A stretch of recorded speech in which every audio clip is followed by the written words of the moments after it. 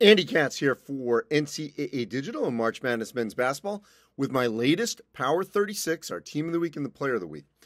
First off, a lot of teams lost, so we've got wholesale changes in the Power 36, but not at the top.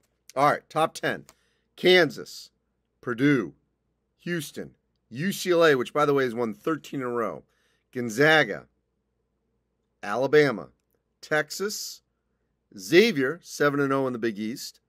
Iowa State, just barely lost to Kansas. And Tennessee, I know the Vols lost at home to Kentucky, but that's their first SEC loss. Give them a little bit of pass. Still a top 10 team. New teams in the Power 36, and there are plenty. Arizona State at 16, Illinois at 19, NC State at 26, New Mexico back in at 27 after winning at San Diego State, Texas A&M at 28, USC at 29. Baylor back in at 34. VCU has taken down Dayton and Davidson in the A10. They check in at 35. And we've got a new one, Florida Atlantic, which has won 15 in a row. Our team of the week, Clemson. Tigers are 7 0 in the ACC, only undefeated team atop the ACC after knocking off Duke.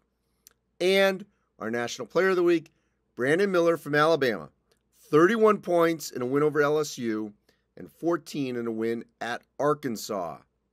A lot of changes. It's going to continue to happen over the next couple of weeks because teams just keep beating each other in these power leagues.